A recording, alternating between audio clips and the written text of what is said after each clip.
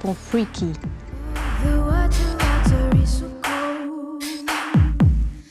Ça remonte à peu près à un an et demi, quand je suis allée dans des, dans des clubs de travestis à Londres et que j'ai rencontré mes alter ego scéniques et que je me suis dit, c'est ça que je veux faire. Je veux faire de la pop et en même temps, je veux être assez kitsch et, euh, je veux porter des paillettes.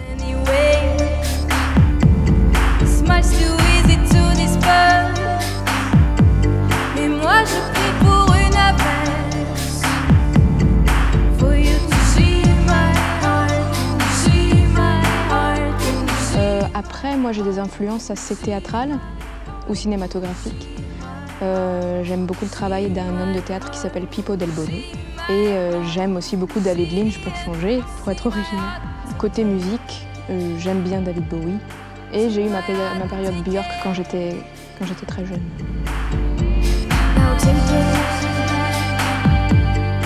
À vrai dire, c'est une demande d'une de mes queens qui s'appelle Maccabée.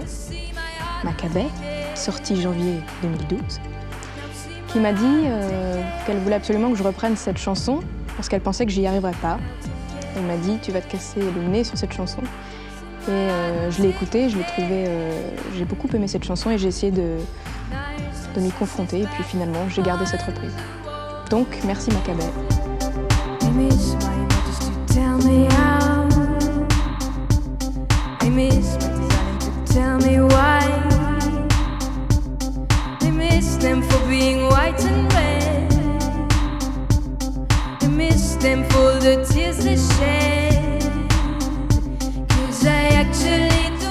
Ça commence souvent par la musique, euh, très souvent par des rythmiques d'ailleurs.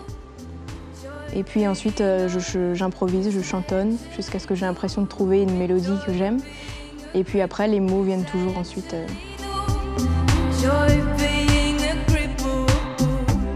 une espèce d'exaltation, le sentiment de pouvoir être plus que ce qu'on est et de pouvoir être plein de personnages à la fois et d'être heureuse d'être multiple.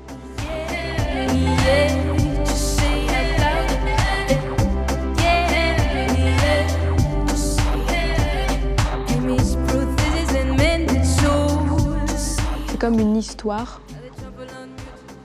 qui nous habiterait ensuite pendant des semaines et des semaines et qu'on aurait envie de partager à tout le monde.